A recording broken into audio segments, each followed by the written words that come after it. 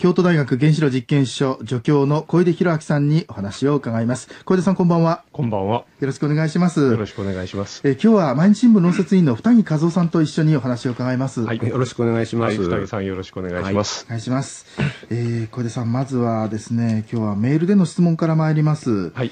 えー福島県郡山市からいただきましたラジオネーム福島から質問という方ですはい。私の住む郡山市では6月7日から保健所で、えーホールボディカウンターによる内部被曝検査を行うそうなのですがガンマ線しか測れないと聞きました。郡山市は福島第一原発から60キロ前後の距離にありますがアルファ線、ベータ線などによる被曝の恐れはないのでしょうか。またあるとしても無視して良いのでしょうか？という質問です。はい。えー去年の3月11日に事故が起きて、まあ、ほぼ1年経ったわけですが、住民の人たちが被爆をしている主犯人は、大気中に放出されたセシウム137と134だと私は思います。はいえー大気中に放出された放射性物質他にもありますしアルファ線を放出するプルトニウムベータ線を放出するストロンチウムというようなものもあるのですけれども、えー大気中に出たものだけを問題にするのであれば私はガンマ線を放出するセシウム134と137に注意をしておけばいいと思います。はいはい、ただしあの、これから海の汚染というものが問題になってくると思います。えそれの場合には、えストロンチウム90というベータ線しか出さないというその放射能が大切になりますので、ええー特にその海産物をたくさん食べる習慣のある方、多分まあ漁民の方とかそうだろうと私は思うのですが、そういう方に対しては、ホールボディカウンターだけでは不十分だと思います。うーん。あの別の何か測定装置を使って、えベータ線をきちんと測らないといけないということですね。はい、ストロンチウム90の場合には、えー外部から測るということはほとんど難しいので、はあ。えーいわゆる排泄物ですね、えーを採取して、体の中にどれだけあるという推定をするという、そういう大変面倒な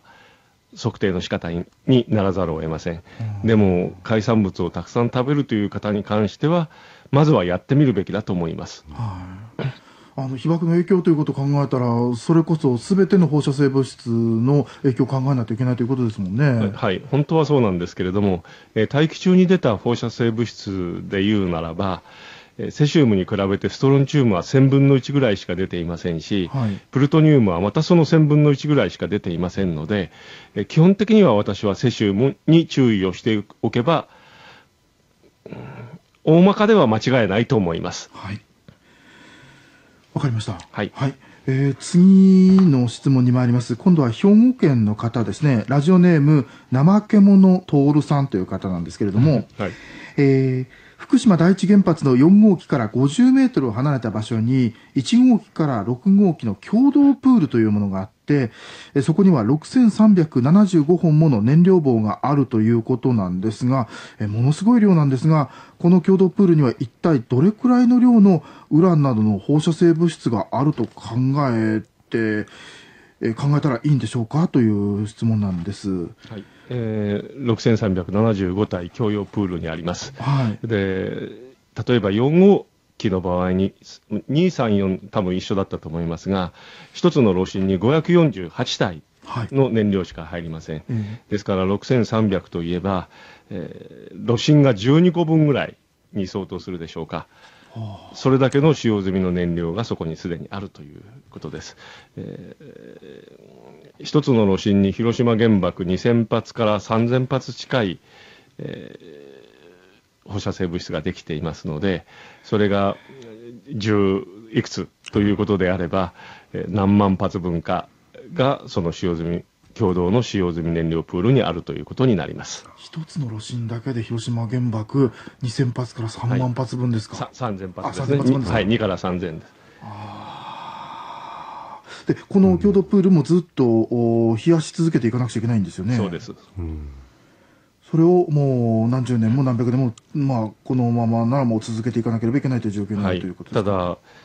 えー、水というのは大変効率が良くてですね、冷やすということに向いているのですけれども、いかんせん液体ですから、漏れてしまったら冷やせなくなるとかいう危険があります。はい、えー、そのため、水でいつまで冷やすのは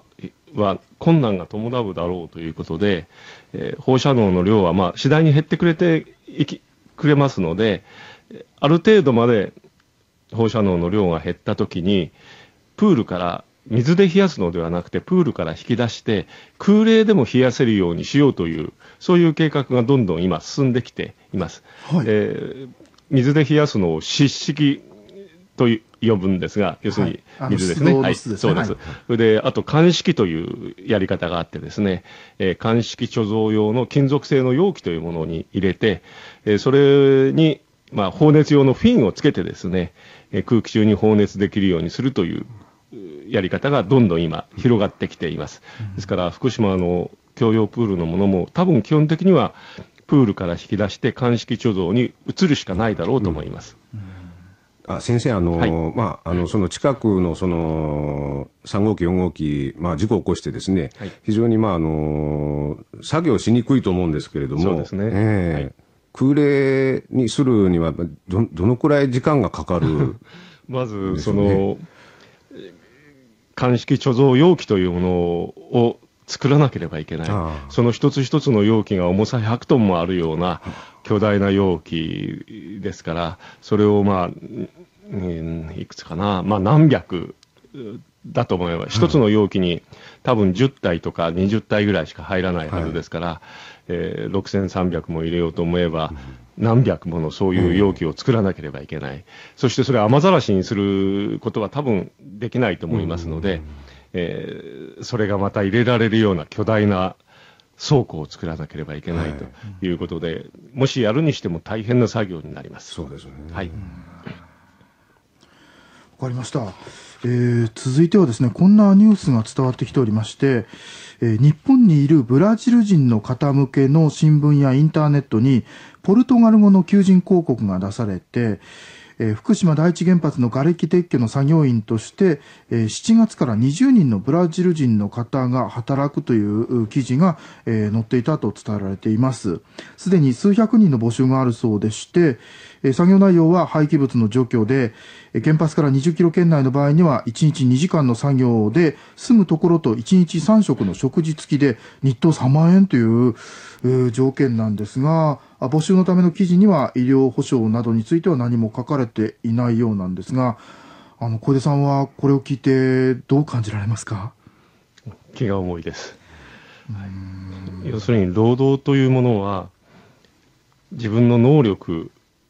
を売るのが普通労働というのだと思いますが、はい、今のその福島の労働というのは能力を売るのではなくて被爆被爆の能力を売るんですね。はい、はい、はい、ですから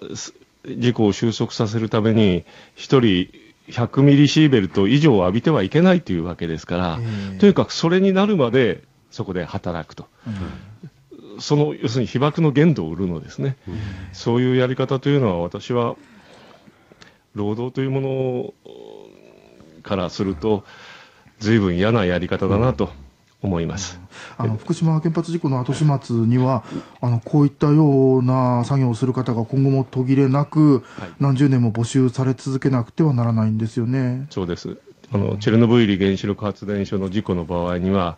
6万人から8万人と言われる軍人、退役軍人、そして労働者が借り集められたわけですが、